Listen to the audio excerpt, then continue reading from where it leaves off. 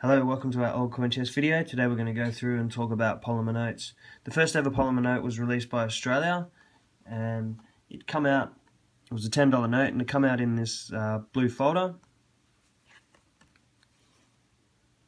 and features the Aboriginal on the front. Now the way, if it doesn't have a blue folder, the way you can tell this note was meant for a folder is it has a prefix of AA.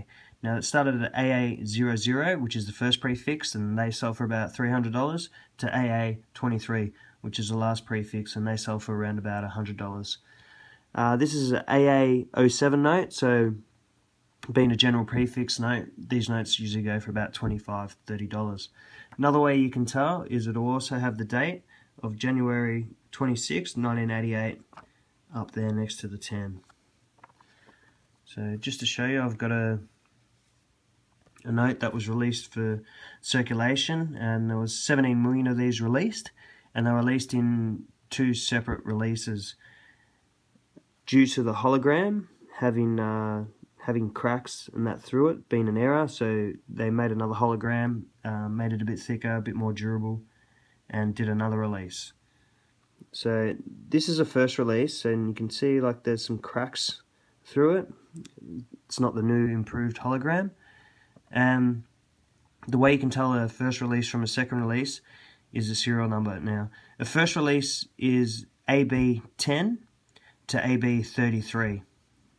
And so if it's in between then, it have to has you've got those digits right, but then you have to go to the third and fourth digit. And if the third and fourth digit are 93, which this one is, 94 or 96, you have a first release note. If it's any other number, it's not first release. And the second release go from AB10 up to AB57, if that doesn't confuse you. So this is a first release note, and as you can see, there's no date up there near the 10.